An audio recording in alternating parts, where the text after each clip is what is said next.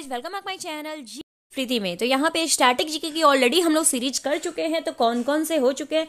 समाधि स्थल, भारत के प्रमुख पर्यटन स्थल, भारत के महत्वपूर्ण स्थल एवं स्मारक, भौगोलिक उपनाम, नदियों के किनारे बसे शहर, यानी कि टोटल पाँच से छह टॉपिक ऑलरेडी आपके हो चुके हैं। अगर आपने नहीं देखा है तो बहुत ही छोटी, कम टाइम की वीडियो होती है, वो जाकर आप देख लीजिए। आज हम करेंगे तो पुस्तक एवं लेखक, ये न्यू है।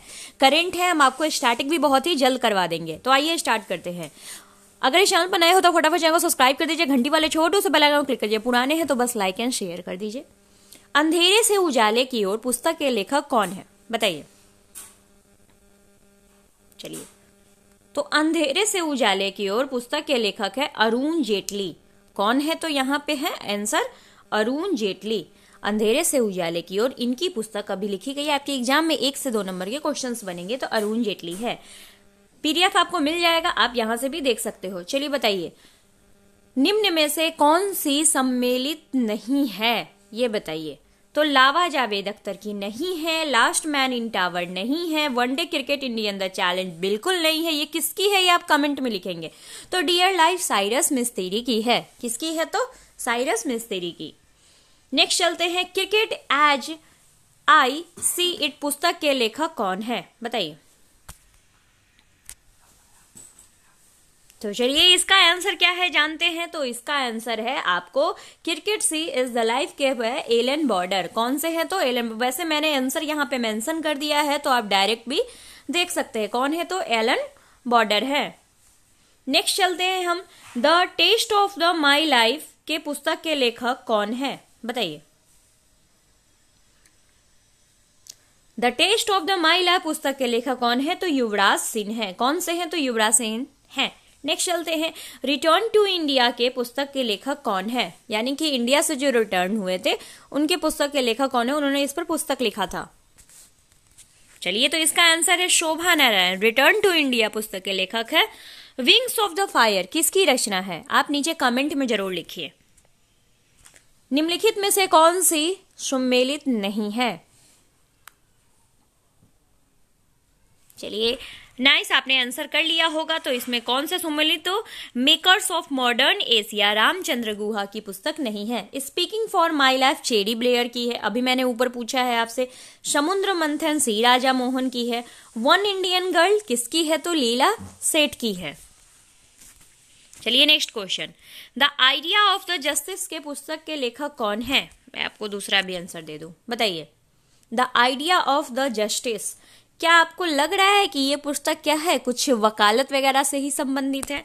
तो आइए इसका आंसर देखें। तो अमर्त्य सेन की, जो कि एक अर्थशास्त्री हैं, और एक बात बताइए, नोबेल पुरस्कार भी इनको मिला हुआ है अर्थशास्त्र में, वो कौन है? नेम कमेंट बॉक्स में लिखिएगा। तो Amar Sen, the idea of the justice, की पुस्तक के लेखक है। This is the last question the making of the making of बड़ा कोमामा पुस्तक के लेखक कौन है? बताइए। तो चलिए इसके पुस्तक के लेखक है रिचर्ड वोल्फी। कौन से हैं तो?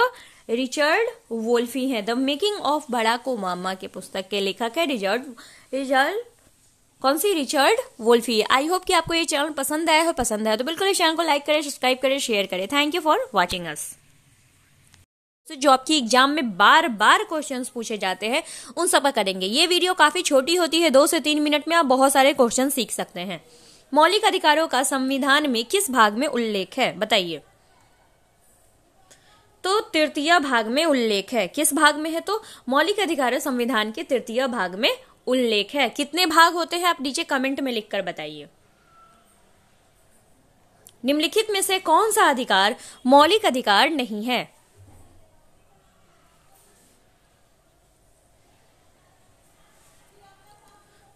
तो इस पुरुष एवं स्त्रियों को समान काम करने के लिए और समान वेतन पाने का अधिकार, कोई भी वेतन संबंधी अधिकार मौलिक अधिकार में नहीं है। बाकी संगठन बनाने का अधिकार, भाषण अभिव्यक्ति का अधिकार और शोषण के विरुद्ध अधिकार, ये सारे चीज़ है। बट ये नहीं है। आइए नेक्स्ट क्वेश्चन करते हैं।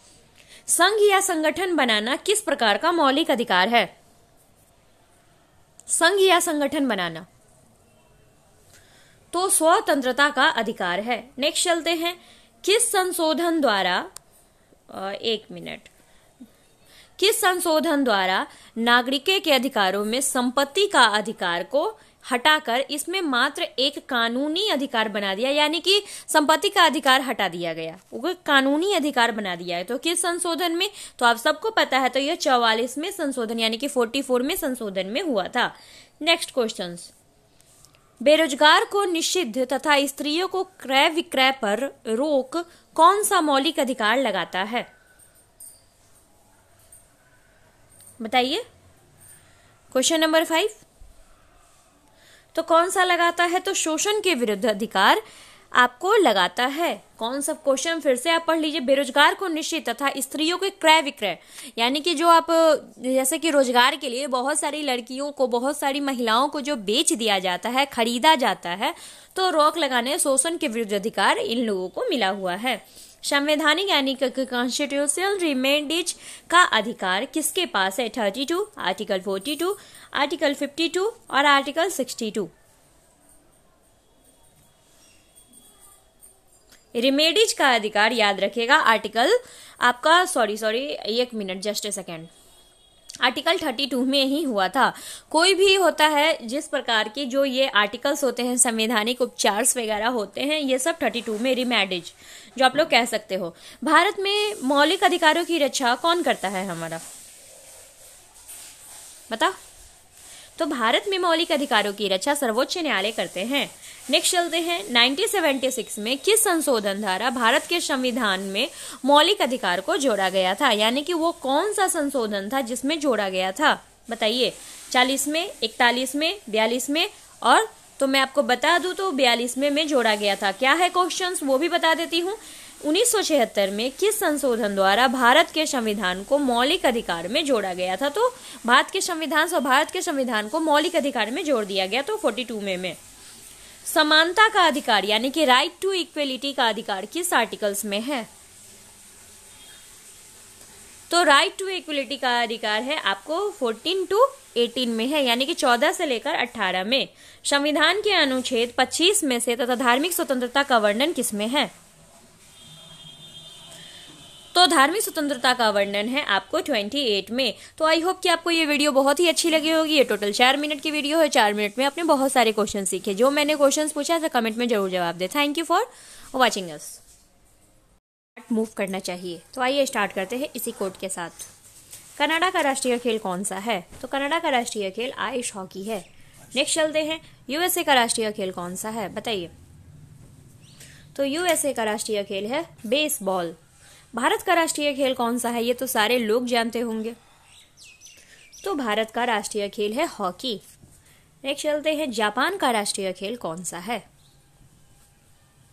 तो जौ से जापान जौ से जूडो। याद रहेगा? तो जौ से जापान और जौ से जूडो। चलिए नेक्स्ट क्वेश्चन स्कॉटलैंड का राष्ट्रीय खेल कौन सा है? बताओ। तो स्कॉटलैंड का राष्ट्रीय खेल है रग्बी फुटबॉल। नेक्स्ट है, देखते हैं। स्पेन का राष्ट्रीय खेल कौन सा है?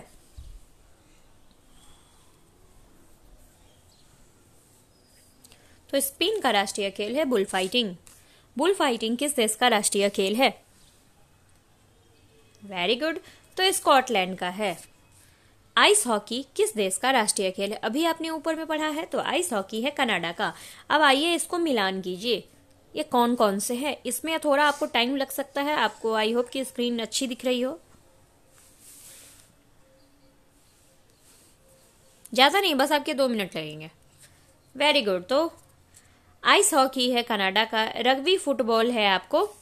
किसका? तो स्पेन का, जैसा कि आपने ऊपर पढ़ा है। नेक्स्ट करते हैं। अमेरिका का राष्ट्रीय मनोरंजन खेल किसको कहा जाता है? तो अमेरिका का राष्ट्रीय मनोरंजन खेल बेसबॉल को कहा जाता है। चलिए इसी के साथ हम आपसे विदा लेते हैं। मिलेंगे नेक्स्ट वीडियो में। Thank you for watching us